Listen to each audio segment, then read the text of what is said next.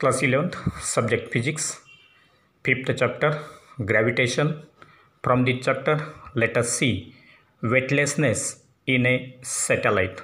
That is why there is feeling of weightlessness by any astronaut in an orbiting satellite. So according to Newton's second law of motion we know that force is equal to mass into acceleration that is F equal to ma where F is the force acting on an object of mass m and having its acceleration a and therefore we can write F equal to ma. Now in order to explain the feeling of weightlessness let us consider an example of a lift or an elevator. So here we will consider the example of lift to explain the feeling of weightlessness. When the lift is at rest or in motion, then the passenger inside it experiences only two forces. So when the lift is at rest or it is moving, at that time the passenger inside it will experience only two forces. The first one is the gravitational force mg that is the weight of the passenger directed vertically downwards. And second force will be the normal reaction force n which will be directed in the upward direction that is vertically upward direction and it will be due to the normal reaction exerted by the floor of the lift. Now as these two forces are oppositely directed as these two forces that is weight mg directed in the downward direction and normal reaction force directed in the vertically upward direction are oppositely directed therefore the net force in the downward direction will be given as if mg is directed in the vertically downward direction normal reaction is directed in the vertically upward direction. Therefore net force f will be equal to mg minus n. F is equal to mg minus n. Now there are different cases and therefore we will discuss these cases one by one. Let us consider the first case in which lift is having zero acceleration. Lift is having zero acceleration. Now when the lift is at rest or it is moving upwards or downwards with constant velocity when the lift is at rest or moving upwards or downwards with constant velocity at that time it will possess zero acceleration.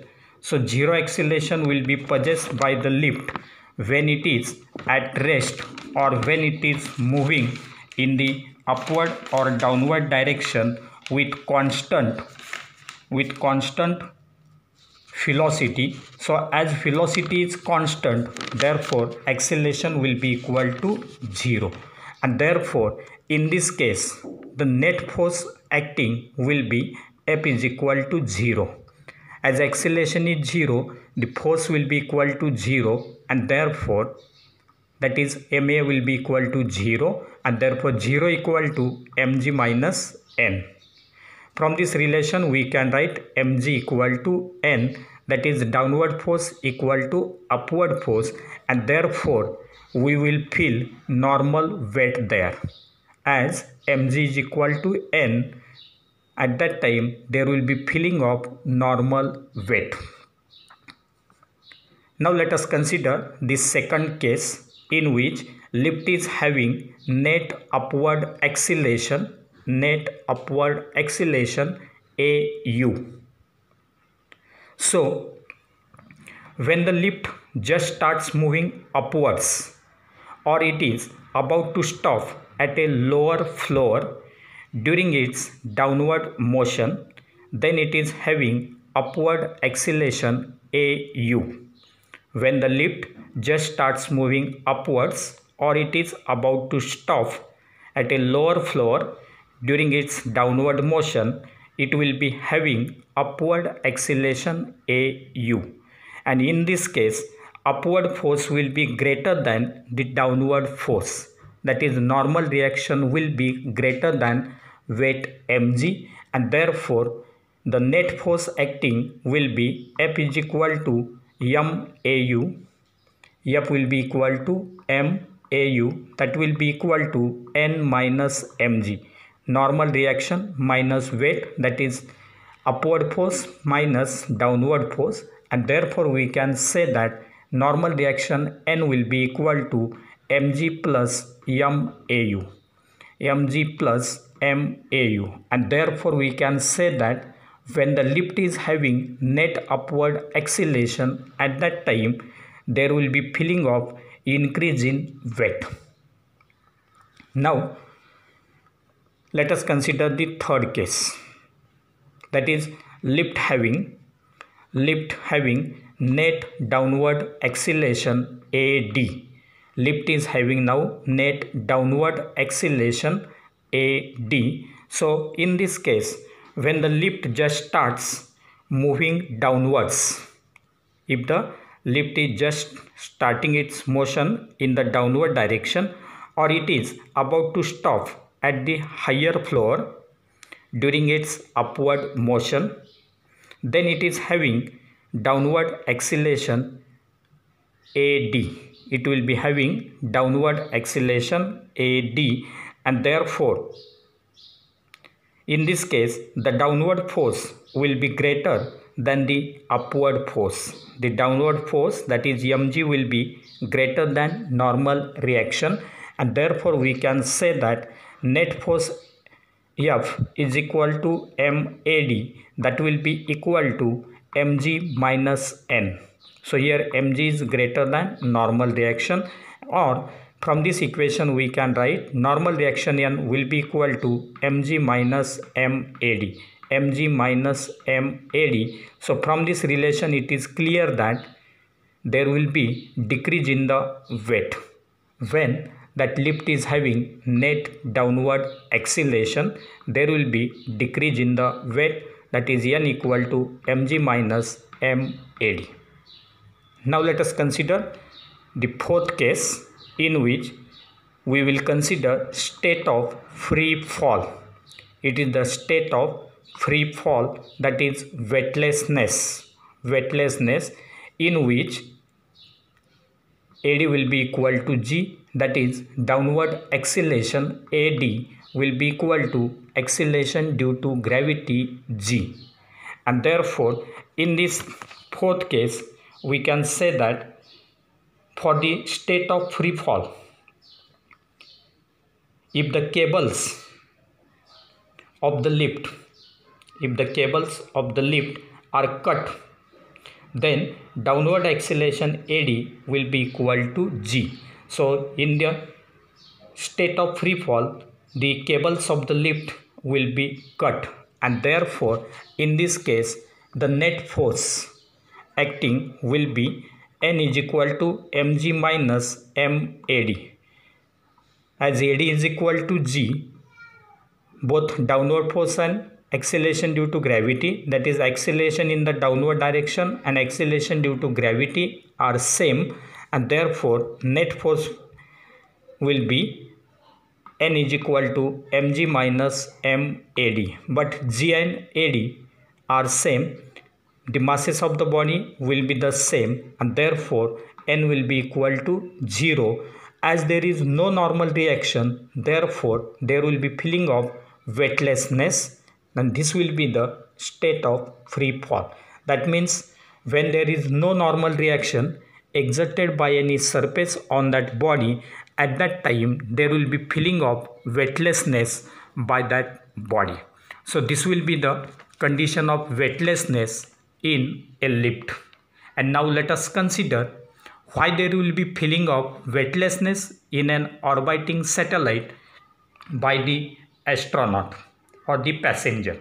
So in case of revolving satellite in case of revolving satellite, the satellite performs circular motion. Satellite is performing circular motion. For the circular motion of the satellite, acceleration is the centripetal acceleration. Acceleration is centripetal acceleration and which is provided by the gravitational acceleration g. The gravitational acceleration g provides centripetal acceleration. Now for free fall of the satellite, AD must be equal to g. For free fall of the satellite, AD must be equal to g. And thus the apparent weight will be 0 the apparent weight will be 0 giving rise to feeling of weightlessness. The apparent weight will be equal to 0 actual weight will not be equal to 0 only there will be feeling of loss in weight that is weightlessness now in this case when that satellite is revolving around the earth at that time the acceleration of the satellite as well as the acceleration due to gravity both are directed towards the center of the earth and hence there will be feeling of weightlessness. So this will be regarding weightlessness condition. Now let us see the next point that is binding energy of an orbiting satellite. Binding energy of an orbiting satellite. Now what is that binding energy? The minimum energy required by a satellite to escape from Earth's gravitational field is called binding energy of the satellite. The minimum energy required by a satellite to escape from the Earth's gravitational field or influence is called as binding energy of the satellite. So binding energy is nothing but it is the minimum energy required by any satellite to make it free or to escape it from the Earth's gravitational influence. And therefore, in order to obtain that expression for the binding energy, let us consider some of the terms. Let Capital M represents mass of the earth. Capital M represents mass of the earth. Capital R represents radius of the earth. So capital R is radius of the earth. Capital G represents gravitational constant. Gravitational constant. Then phi c represents critical speed of that orbiting satellite. Critical speed is phi c then small r is equal to capital R plus h will represent radius of orbit of that satellite. Radius of orbit of the satellite r is equal to r plus h and small m represents mass of that satellite. Mass of the satellite is equal to small m.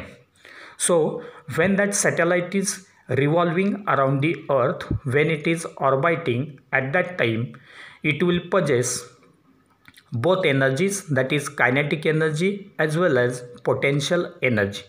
Due to the motion of the satellite, it will possess kinetic energy and as it is orbiting in Earth's gravitational field, therefore due to Earth's gravitational potential, it will possess potential energy. And therefore its kinetic energy will be given as kinetic energy is equal to half m phi square half m phi square.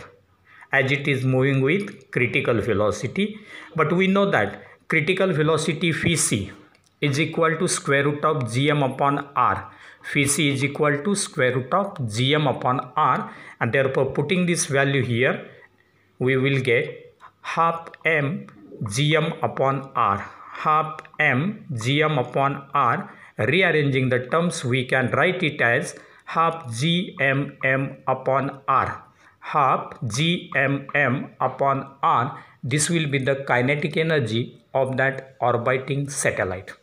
Now let us see the potential energy potential energy pe will be equal to it is given as product of earth's gravitational potential Earth's gravitational potential and mass of the satellite mass of the satellite and therefore it will be equal to potential energy equal to minus gm upon r. This factor will represent earth's gravitational potential and into mass of the satellite and therefore minus gmm upon r will represent the potential energy now the total energy of the satellite will be sum of its kinetic energy and potential energy and therefore we can write total energy TE equal to KE plus PE.